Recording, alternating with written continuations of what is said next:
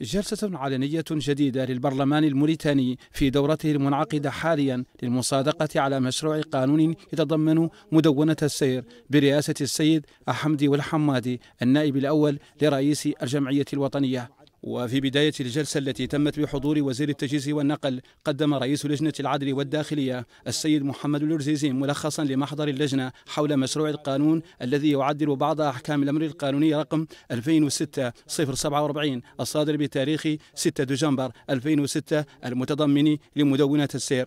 وخلال هذه الجلسة أوضح وزير التجهيز والنقل السيد محمد والأحمد والمحيميد في عرضه أمام السادة النواب أنه وبالرغم من انخفاض حوادث السير جراء البرامج المتعددة للقطاعات التي وضعتها الحكومة حرصا منها على سلامة الطرق إلا أن هذه الحوادث ما تزال تحصد المزيد من الأرواح. وأضاف الوزير أن بلادنا ما زالت تطبق في مواجهة هذه العوامل إطارا قانونيا يصعب التوفيق بينه وبين السلوك المتهور وغير المسؤول المستخدم. تستخدم الطرق لا سيما في حالة تكرار المخالفات على حد تعبيره. وأشار إلى أنه ونتيجة لهذه الوضعية يأتي مشروع القانون الحالي لتعديل بعض أحكام الأمر القانوني رقم 2006 المتضمن لمدونة السير فيما يتعلق بالعقوبات الخاصة بسلامة السير على الطرق.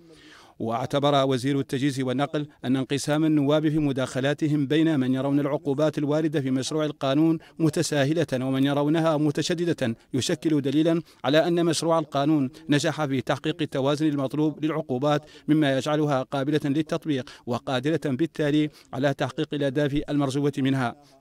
وأشار السادة النواب في مداخلاتهم إلى أهمية اعتماد هذه التعديلات التي تشكل رادعا لمخالفي قوانين السير مما يحد من الحوادث وبالتالي حماية المسافرين وممتلكاتهم.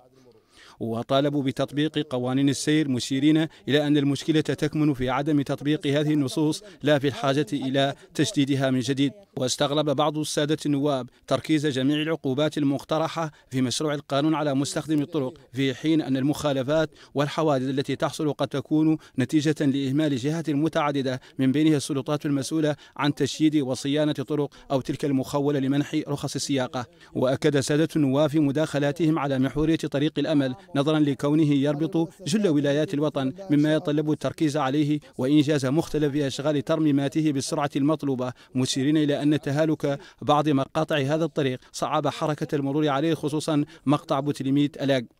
وفي نهاية هذه الجلسة صادقت الجمعية الوطنية على مشروع القانون الذي يعدل ويكمل بعض أحكام الأمر القانوني المتضمن لمدونة السير.